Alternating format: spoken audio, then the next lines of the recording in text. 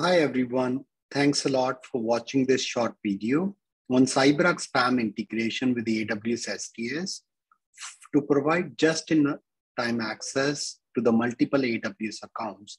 So again, many times it is becoming quite common nowadays whenever you set up AWS organization and you wanna to provide privilege account access across like multiple AWS account. So that's where I thought of creating this short video.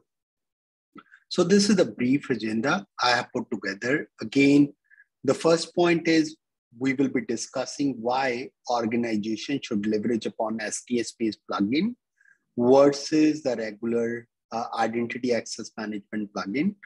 The second, we will be looking into the workflow. How does this entire workflow is going to look like from the integration standpoint between the PAM and the AWS account?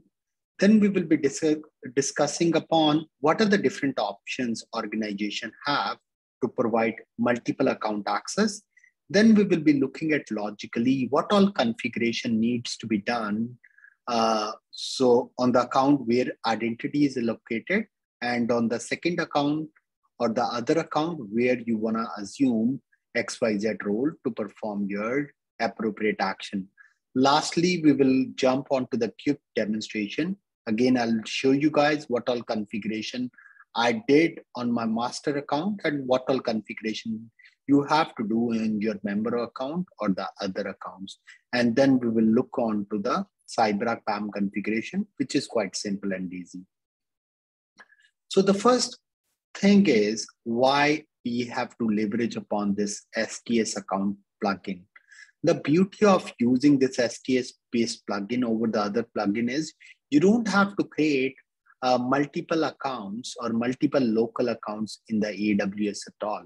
So that's where STS is the perfect plugin you can leverage upon where we will be interacting with the AWS STS service to assume a specific role.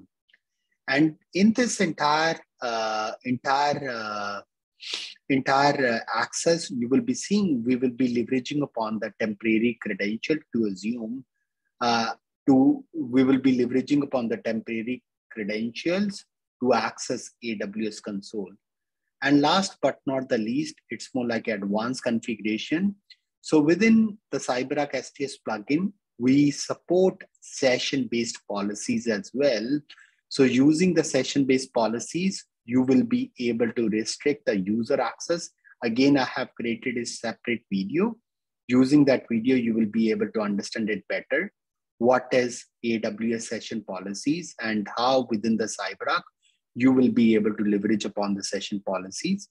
For today's video context, we will not be talking about uh, session policies at all. So this is the uh, this is how this entire workflow is going to look like. So on the CyberArk PAM side, what we will be doing, we will be creating two privilege accounts primarily. The first one, we call it a login account. In the login account, what we will be doing. So on the AWS side, so whatever the first account you are going to create, so on that account, you will be associating your access key and the secret access key, what we will be doing we will be onboarding this secret access key, secret key and the secret access key onto the CyberArk side. Using that, so we will be able to uh, log on onto the AWS platform to fetch the temporary credential. The second account, or here we will be creating a multiple account.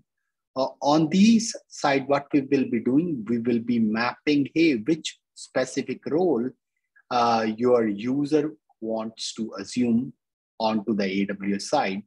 So, so we will be creating multiple account. In my case, I think I have created one EC2 admin account, another one is a DynamoDB admin account, and the third account I have created, or we are going to see, you can create another account where you will be assuming a role on some other uh, AWS uh, account. So now the concept comes, hey, why, what organizations can do to provide an access, to provide a privilege access to the multiple AWS account. Okay, the first option could be to start creating a local account in each and every AWS account or in each and every AWS billing account. But it, if you think about it, adding account, adding any kind of a local account, it will unnecessarily increase the overall risk. And then you have to worry about, hey, the credential management, the, the password rotation or the secret key rotation has to happen regularly. So this option, to be honest, should be ruled out. Then another option, uh, what we have, and that's where CyberArk can help you, is to leverage upon the same CyberArk STS plugin. And then with the help of the AWS concept of a cross account access, so that's what we will be looking into it. Using this particular, uh, particular uh, concept, we will be able to use the same login account to have an access to any XYZ uh, target or the member accounts.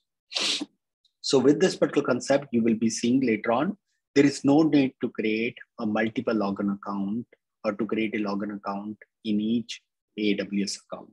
So that's how we will be able to reduce our entire attack surface area. That's how you can achieve some sort of a operational efficiency.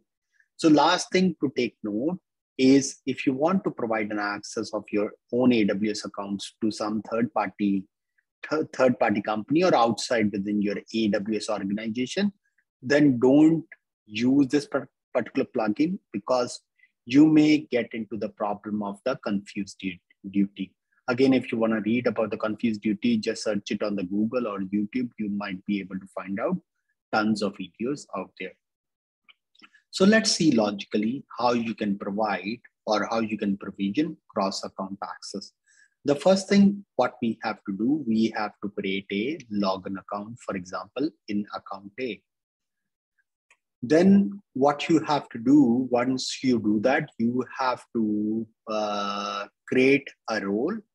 And uh, in this particular role, you have to, we will be leveraging upon a STM, STS assume role API so in this API, you will be able to allow that, hey, this particular account A, uh, account A or the login account should be able to assume a role in the account B. Once you do that, then, then everything is allowed or everything is okay from the account A perspective on the AWS side. And then we will be jumping onto the account B. Onto the account B, so let's take an example. If user wants to have an access uh, or to, to XYZ resource to perform XYZ action, then what you have to do, you have to create another, another role onto the AWS account B.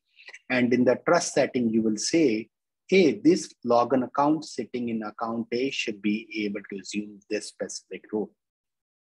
And once you do that, so everything is allowed from account B so if we think it lo logically, you will be allowing some of the settings on the account A where you're allowing, hey, a specific login account should be able to assume a role for account B. And on the account B, in the trust setting, you will be allowing that, hey, uh, this specific login account from the account A should be as able to assume this specific role. So that's how this entire configuration is going to look like. So one thing to take note, so whenever login, login account sitting in account A is assuming a role in account B, it will be giving up all their existing permission. So this is how the concept works within AWS. So let's jump onto the demonstration.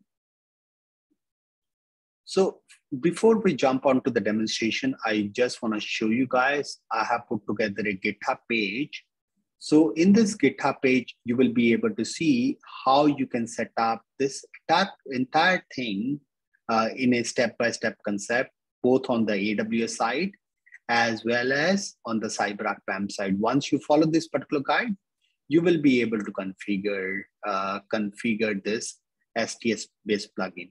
So anyhow, how for today's, uh, we are going to discuss upon what all setting you have to do to allow a cross-account access.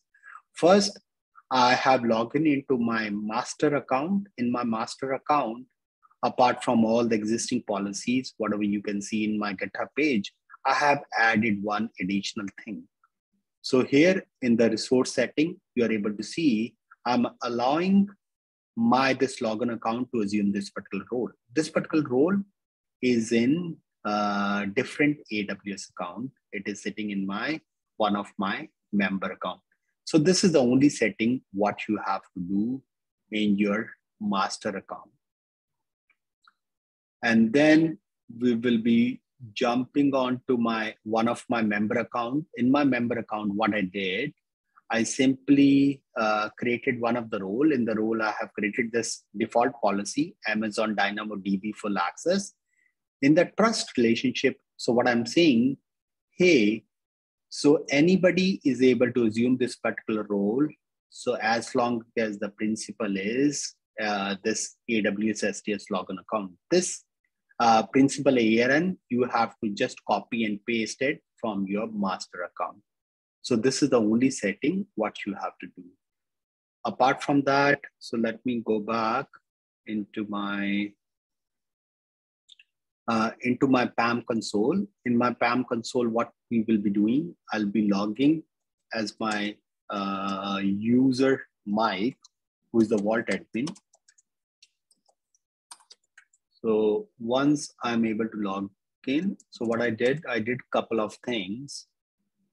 So if I search it with STS, so here, so this is the account what you have to onboard, okay? So once you are able to onboard this particular account, what CyberArk is going to do with the help of the CPM plugin, we will help you to rotate and uh, to rotate or to manage these credentials on a periodic manner apart from that, so I created a couple of like uh, local, uh, local AWS IAM roles.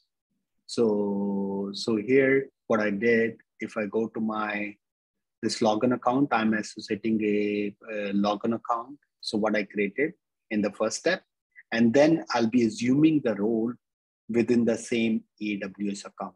Okay, where this login account is located. Again, I have created a separate video you guys can go ahead and look onto the demonstration. For today's context, I have created another account. We call it a cross account DynamoDB access. So here also, I'm using the same login account, but we have created uh, in our master account. But the only difference is when it comes to the AWS ARN role, I'm saying, hey, this time I want to assume a role into my target account into my one of my member account. That's the only difference. So here, if I click on a show button, you will see the same thing. There are no passwords involved at all. So what you have to do simply, you just have to simply click on a connect button. So once you do that, so within a couple of seconds, you will be able to see, hey, we are able to connect it to the AWS master account. And again, all the activities are gonna be recorded as we are going via the CyberArk jumpers. So here, if you see, so we are assuming this particular role, role uh, Raj personal account DynamoDB access. And uh, so I'm using my one of my member account. If I go to the DynamoDB or something, I can perform all the different actions here. So let's create a table.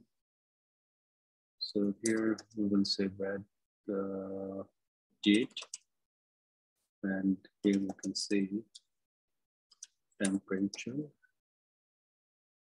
So you can create a table or you can perform all the different actions because currently uh, we have a full DynamoDB access role.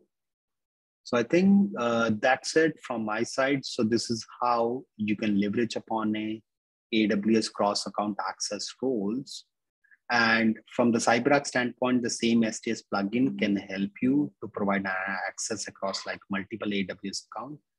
And that's pretty much from the demonstration perspective. If you guys have any question, feel free to put it on the chat window and I shall be more than happy to answer any of your questions. Thanks a lot, everyone, for watching this short video and demonstration.